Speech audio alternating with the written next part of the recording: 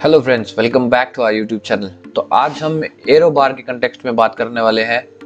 Stock hero hoc जो पुराने model होते थे, उनके साथ एक एरो बार अपने को मिलता था। उसी स्टॉक एरो बार को नई शेप देने के लिए मैंने उसे मॉडिफाई कर दिया। तो उसका प्रोसेस आज आपको मैं दिखाने वाला हूँ। जैसा कि आप यहाँ देख सकते हैं, ये अब एक नए या मॉडर्न स्टाइल के एरो बार की तरह लगने लग गया है। जबकि जो पुराना स्टॉक आता था, वो कुछ इस शेप का आता था। तो मैंने क्या किया सिंपली यहाँ? इस पाइप की जो टो पार्ट और जो इसके साइड के जो एक्सटेंशन होते हैं, जहाँ हमारी रबड़ की पैडिंग लगती है, उनको मैंने कटवा दिया। उनको कटवा के जो हमें बार मिली है, वो दे आप देख सकते हैं। दो एकदम सिंपल नई मॉडर्न टाइप की एरो बार्स यहाँ अपने को मिल गई है। इसको कटवाने के पीछे जो एक मेरा मेन रीज़न तो यही था कि इससे लुक काफ़ी एनहेंस हो जाता है बाइक का। ऊपर से स्पीड स्पीड तो काफ़ी ज़्यादा बढ़ जाएगी, जो आप आने वाली वीडियो में देख ही लेंगे। अगर आपको ये वीडियो अच्छी लगे तो चैनल को लाइक, सब्सक्राइब ज़रूर कीजिएगा। इससे काफ़ी हेल्प मिलती है अगर नई वीडियोस बनाने के लिए।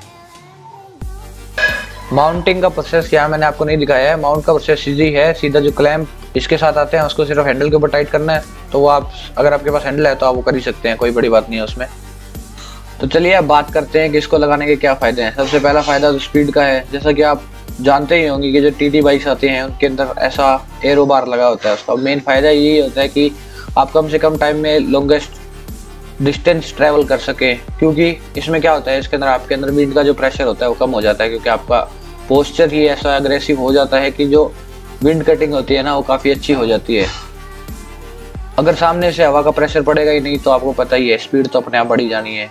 और ये तो देख सकते हैं कि जैसे ये बाइक है, इसके अंदर स्टॉक क्रैंक सेट लगा हुआ है तो उसके बावजूद भी ये आराम से फोर्टी टच कर जाती है बिना किसी दिक्कत के। जहाँ तक लुक्स की बात है तो लुक्स तो आप देख सकते हैं यार, खतरनाक लगती है देखने के अंदर। और पोस्चर के अंदर तो कुछ और ही बात है, देखने में बड़ा कमाल लगता है। अब देखिए, यहाँ फ़र्क अपने को फ़र्क पड़ता है कि जितने पेडलिंग मेरे को करनी पड़ रही है, मेरे दोस्त को उससे कहीं ज़्यादा पेडल मारने पड़ रहे हैं, क्योंकि उसका क्रैंक छोटा है क्रैंक छोटा होने के कारण स्पीड तो वो ले लेता है, लेकिन उसकी एनर्जी काफ़ी कंज्यूम हो रही है मेरे एनर्जी कंजप्शन के मुकाबले। ये बात तो है कि सिक्स टी को प्रेस करने के लिए एनर्जी ज़्यादा लगती है, लेकिन जैसे जैसे आप इसे चलाते हैं ना तो इसकी आदत हो जाती है। शुरू में मैंने जब इसे इंस्टॉल किया था ना तो इसको चलाना यार बहुत ही मुश्किल काम था। मैंने यानी 20 किलोमीटर की कोई जब राइड की थी ना जो वो मेरे को ही पता है, मैंने वो राइड कैसे की थी। बहुत ज़ोर लगता है इसके अंदर।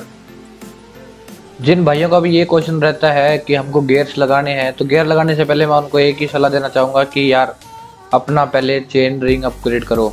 अगर चेन रिंग अपग्रेड करोगे, तभी आपकी स्पीड बढ़ेगी। अगर वरना बिना चेन रिंग अगर आप गेयर उसमें लगाने लगाओगे तो आपकी साइकिल सिर्फ़ स्मूथ हो जाएगी।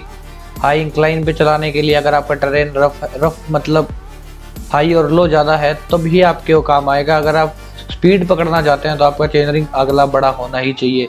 तभी वो रेशो बनेगा और तभी आपकी स्पीड ज़्यादा हो पाएगी। और जहाँ तक यार पार्ट्स की बात है तो गेयर वगैरह के जो पार्ट्स हैं, आप ऑनलाइन भी ले सकते हैं। मैंने लिंक डिस्क्रिप्शन में दिए हुए हैं वीडियो के अंदर। इस वीडियो के नीचे भी आप डिस्क्रिप्शन में चेक कर सकते हैं, लिंक्स आपको मिल जाएँगे। लेकिन जहाँ तक बात है कि यार बिग चेन रिंग्स वगैरह की, मैं तो आपको पहले ही सलाह देता हूँ कि आप लोकल मार्केट में पता करें। क्योंकि इसका रेट ना बहुत वेरी करता है सेलर टू सेलर जैसे मेरे को ये फाइव फिफ्टी का पड़ा था। आपको चाहे तो अगर आप पंजाब से हो तो आपको शायद ये तीन सौ रुपये में भी मिल जाए। तीन सौ में ना मिल के अगर आप साउथ में कहीं रहते हैं, शायद वो आपको हज़ार रुपये तक भी मिल जाए। क्योंकि ऐसा मैंने देखा है, इसका प्राइस बहुत वेरी करता है। लेकिन ये अकेला ऐसा अपग्रेड है जो पूरी साइकिल में वर्थ है। आप कुछ मत करवाएँ। गियर मत लगवाएँ, कुछ मत करवाएँ, लेकिन मैं आपको सलाह देना चाहूँगा कि अगर आप सिंगल स्पीड साइकिल चलाना चाहते हैं तो कम से कम उसमें फिफ्टी टू लगवा लें। अगर आप सिक्सटी लगवाते हैं तो गेयर्स आप साथ में लगवा सकते हैं। सिक्सटी विद गेयर्स बहुत ही अच्छा कॉम्बिनेशन है इस बाइक के लिए। साइकिल काफ़ी अच्छी चलती है स्पीड भी काफ़ी अच्छी रहती है। एक अगर हम एवरेज की बात करें तो। तो जैसा कि अब आप यहाँ देख सकते हैं कि हमने साइकिल स्विच कर ली है तो आप देख सकते हैं कि जो लुक है इसका। जो मेरे पास जो मेरे दोस्त की जो साइकिल है उसके अंदर जो बार लगी हुई है, वो ट्रेडिशनल एरो बार है। और उसके कंपैरिजन में जो हमने नहीं, अब उसको जो मॉडिफाई कर दिया, उसको कटवा लिया है तो वो उससे लुक्स के मामले काफ़ी अच्छी लगती है। बाकी पोस्चर के मामले में तो बस यही अपने को फ़र्क मिलता है कि जो अपना एल्बो रेस्ट है, वो इसके अंदर अपने को पैडिंग मिल जाती है और उसके अंदर थोड़ी पैडिंग नहीं है तो उसको मेरे को हैंडल पे ही रख के चलाना पड़ता है। लेकिन वैसे यहाँ कोई दिक्कत नहीं है, बिल्कुल आराम से अपने हैंड रेस्ट वहाँ भी हो जाते हैं और आराम से पकड़ने के लिए भी उसके अंदर काफ़ी जगह है। जहाँ तक पैडलिंग की फ्रीक्वेंसी की बात है तो वो तो आप देख ही सकते हैं, मेरे को यहाँ कितने पैडल मारने पड़ रहे हैं और मेरा दोस्त कितने पैडल मार रहा है। तो बस यही फ़र्क है जो एक गियर कॉम्बिनेशन आपको दे सकता है। अगर आपको एकदम बिल्कुल प्लेन टेरन के ऊपर चलानी है और अगर आपको स्पीड चाहिए तो आप लॉन्गर डिस्टेंस ईजिली कवर करना चाहते हैं तो। और हाल ही में आपको मैं बताना चाहूँगा कि इस को गियर कॉम्बिनेशन में साथ में एक रेस हुई थी। उस रेस के अंदर भी मैं जीत गया, जिसके अंदर मान के चलो आप ट्राइबन जैसी साइकिल्स भी थी, उनसे भी आगे निकल जाती है साइकिल। तो और क्या चाहिए आपको इतने प्राइस के अंदर? तो ये एक बहुत बहुत ही अच्छा कॉम्बिनेशन है। गियर लगवाओ तो कम मिनिमम 52 के साथ जाना है आपको। सिंगल यानी जो स्टॉक कॉम्बिनेशन है, उसके साथ मैं आपको सजेस्ट नहीं करूँगा। तो आज के लिए बस कुछ इतना ही कुछ था। एरो बार की परफॉर्मेंस काफ़ी अच्छी है। अगर आपके पास है तो उसे ज़रूर लगाएँ। अगर आप उसे छोटा करके लगाना चाहते हैं तो भी अच्छा है, लेकिन अगर आप स्टॉक भी यूज़ करना चाहते हैं तो वो भी अच्छा चलता है। Thank you very much